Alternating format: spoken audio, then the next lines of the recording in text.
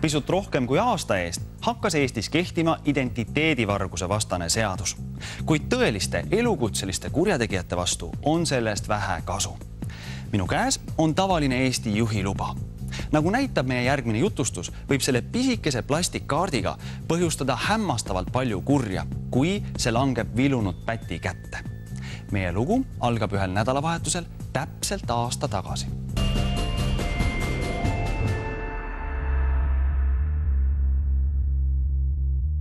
nädalavahetusel oli vaja poodi minna ja, ja vaatasin, et ei ole dokumente.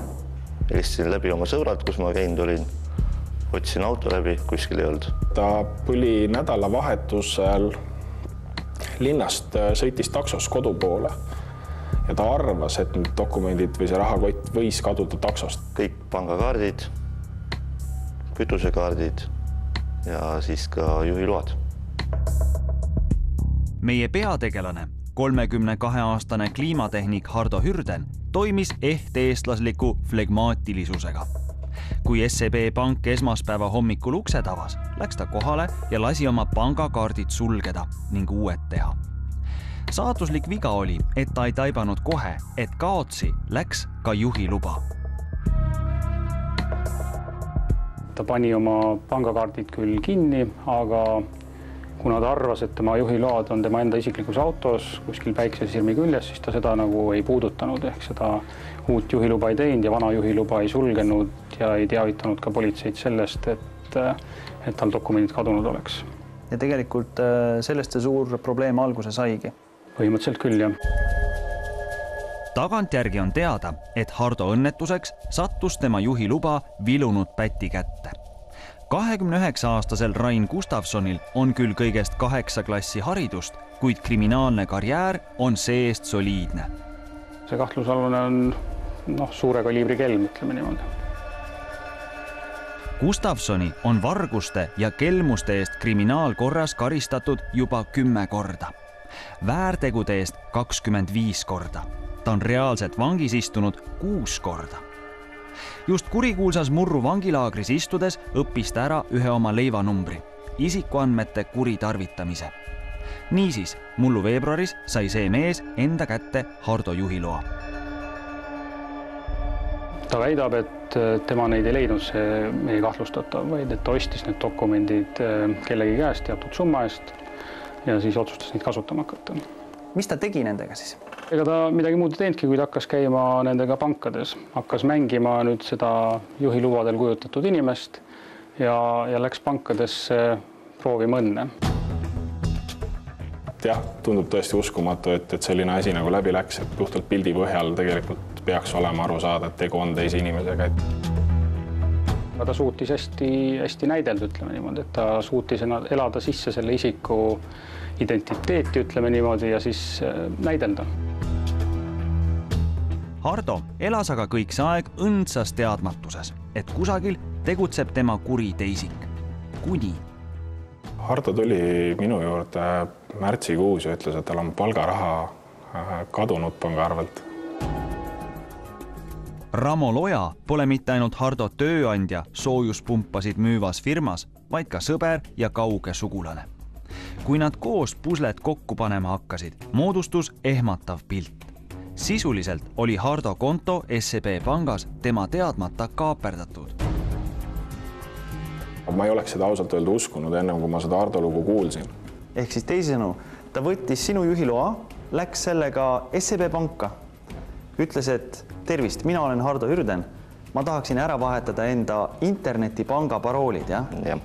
tehti uued internetipanga paroolid saadi tõenäoliselt siis kas koodid või PIN-kalkulaator ja ja tehti ka SMS teavitus, et, et kui see, kui see raha siis sinna Hardo arvele laekus, siis see raha sealt ka kohe ära võeti. ja niiviisi ta kaaperdas põhimõtteliselt sinu äh, arveldusarve ühispangas? jah.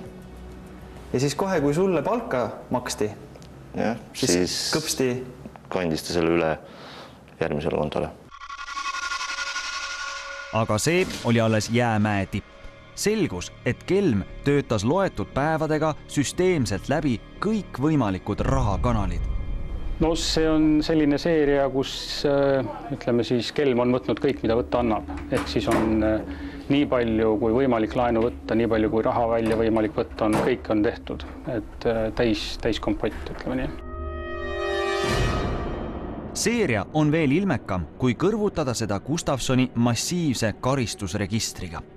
õieti tekib küsimus, kuidas selline mees üldse vabaduses liikus.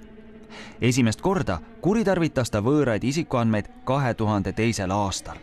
kuid meie loo seisukohalt läheb huvitavaks kahekümne kaheksandal detsembril kaks tuhat üheksa kui Kuressaare kohus määras Gustavsonile üksteist tuhat krooni trahvi võõra juhiloaga esinemise eest Kuivastu sadamas. vaid poolteist kuud hiljem, üheksandal veebruaril kaks tuhat kümme oli ta jälle süüpingis, seekord Pärnus, seoses amfetamiini ja kanepiga.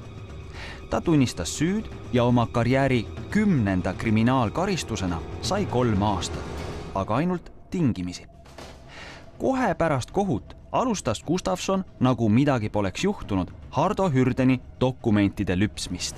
et jälgi segada ja Hardo SEB arvelt kõrvaldatud ning tema nimel kokku laenatud raha kätte saada, avas Gustavson oma ohvri isikuandmeid kuritarvitades uue arveldusarve Sampo pangas. siia kanti kokku muuhulgas kõik tema poolt võetud kiirlaenud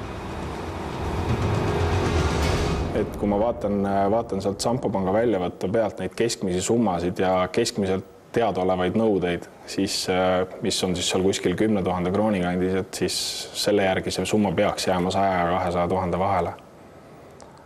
et kaunikesti korralik summa lihtne inimese jaoks. kohe, kui raha Samposse laekus, võttis Gustavson selle sularahaautomaadist välja seega ainult juhiluba kasutades õnnestus tal Hardona esineda mitte ainult ühes, vaid mitmes pangas täiesti uskumatu lugu jah, et ja ei olegi ainult, ei käi jutt Seep pangast ja Sampo pangast, vaid ka Nordea pangas on sama asja tehtud. kuidas see õnnestus, kuidas pangateller isikut kontrollis? kontrollib registritest, süsteemidest kõike kõike ei räägi ära teile, kuidas kontrollib ja, ja kui on põhjustatud, põhjendatud kahtlus, siis kutsub politsei. loosse segatud pangad keelduvad paraku pooleliolevale juurdlusele viidates konkreetsetest selgitustest kas näiteks on olemas mingisugused kontrollküsimused stiilis, et mis oli su ema neiupõlve nimi? seda, seda ma ei ütle teile ikka kui ohver pangas uurimas käis, väideti talle, et Paharet oli tema dokumendi pildiga väga sarnane. jah, nii nad väitsid. et räägitakse hästi sarnasest isikust, on nagu politseil oleva foto põhjal ja Ardo juhilubadel oleva foto põhjal täielik absurd. et äh, pangad loomulikult, mis nad muud ikka saakski öelda, et kui, et oli ääretult sarnane isik ja ega seal ei olegi midagi muud teha, eks ju kuid Kelm ei piirdunud ainult krediidiasutustega. ta võttis järelmaksuga kalleid mobiiltelefone ja televiisoreid ning vormistas Hardo nimele erinevaid kaubamajade krediitkaarte.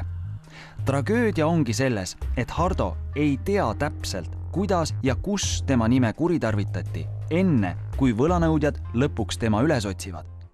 vihatunne oli, et keegi nagu tegutseb minu nime all kuskil. nagu teine mina liigub ringi selleks, et pettus toimiks, ei piisanud aga ainult veenvast rollisooritusest pangas. Gustavsonil oli vaja ka aadressi, mida pankadele ja liisijatele esitada ehk nii-öelda surnud postkasti. jah, selles mõttes, et ta leidis mahajäetud maja, kus oli olemas postkast, kus oli olemas aadress ja kuhu pank siis äh, sai saata näiteks pangakaardi näiteks SEB pangas arveldusarvet avades märkis Petis enda aadressiks võistluse kolm, korter kolm. see on Kalevi staadioni lähedal asuv lobutik, mida asustab selgelt asotsiaalne element. korter number kolm, mis lepinguid sõlmides Hardole koduks märgiti, on sõna otseses mõttes peldik.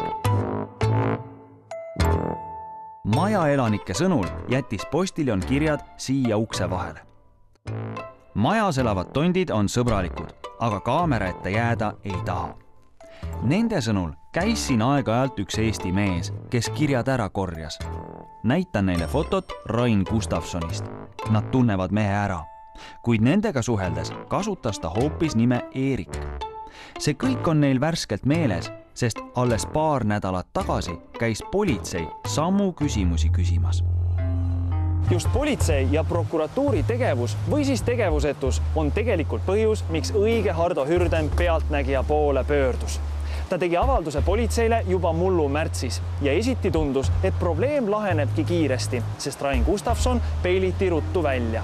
kui me ta kätte saime, siis ta tunnistas oma süüd põhimõtteliselt, ta rääkis ära kõik, kuidas ta tegi seda kuidas ta ostis äh, juhiload, kuidas ta leidis selle postkasti, kuidas ta käis, esines selle isikuna, kuidas ta võttis raha välja, kuidas ta võttis laenu ta nimele, et selles mõttes ta tunnistas oma süüd täielikult, jah. üllataval kombel aga ei võetud pätti vahi alla. kui meie Hardoga seal politseis käisime, siis politsei uurija vähemasti ütles küll, et, et see isik on nende juures juba käinud politsei on küsinud tema käest äh, neid dokumente tagasi, et ta tagastaks need aga väidetavalt olevat ta need dokumendid ära visanud. ja ta ütles, et ta enam ei tee, et see oligi niisugune hästi-hästi lihtne ja selline, selline hästi lihtne vastus, et. politsei ei nabinud teda kohe kinni, et miks see siis niiviisi oli? Äh, selleks ajaks oli meil andmeid äh, natuke liiga vähe, vähemalt noh, prokuratuuri arvates, et, äh, et politsei tegi oma menetlustoimingud, tegi läbiotsimised võttis ütlused ja siis jah, lasi lahti noh. Teile öeldi, et me teame seda venda, me vestlesime temaga, ta lubas, et enam ei tee ja me lasime tal minna. jah, täpselt, täpselt nii see oligi, et nii uskumatult kui see ei kõla, et aga täpselt nii see oli jah. Nad ütlesid, et nagu teda pole mõtet nagu kinni hoida, et, et ühesõnaga neil on nagu kasulikum, kui ta on vabaduses. siinkohal läheb lugu eriti keeruliseks väidetavasti püüdsid politsei ja prokuratuur nii-öelda suuremat kala. nimelt uuriti Gustavsoni ka seoses narkoäriga ja mullu üheteistkümnendal mail peetigi mees uuesti kinni ja nüüd juba uimasti kahtlusega. ta viibib siiani vahi all.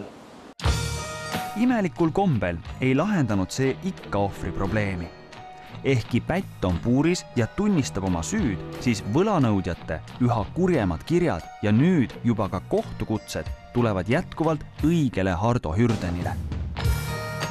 on näha, et inimene on ikka täiesti endast väljas ja ja, ja noh, psüühiliselt kaunikesti häiritud selles mõttes, et äh, ikkagi, ikkagi sõna otseses mõttes mingi kirves õljub pea, pea kohal ja, ja keegi potentsiaalselt võib ühel hetkel nagu nõuda sealt äh, sadat, paarisadat tuhandet krooni, mida, mida ei ole lihtne kokku hankida.